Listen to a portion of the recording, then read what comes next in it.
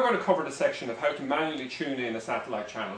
So after doing your auto scan and programming your box, you might find that you've missed out on a particular channel, a new channel might become available, or the frequency that a channel has been broadcast may have changed.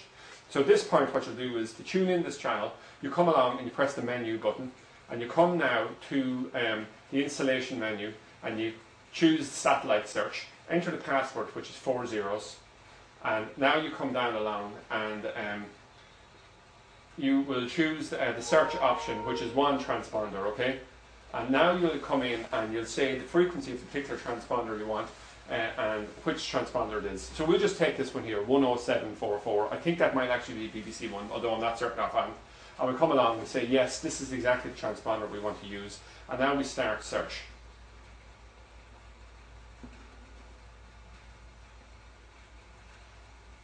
And that's it. It's just the four Irish channels is that picking up there. Um, we, we probably actually instead of doing the free uh, free channels only, we went for that thing. But um, we just press OK there now.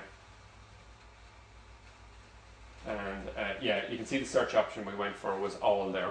So that's why it explains. But if I exit out here now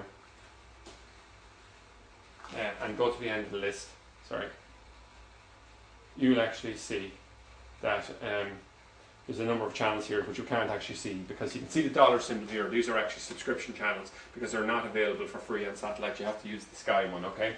And uh, that's what we're after. Um, um, uh, that, that's it. So th that's how you can do a manual scan to bring up your required um, um, uh, channels, and you can just repeat that process for whatever particular um, channel you'd like to add on to the M Vision box. And that's it. Um, uh, on how to manually tune uh, in a satellite channel onto your M Vision Combo HD 200.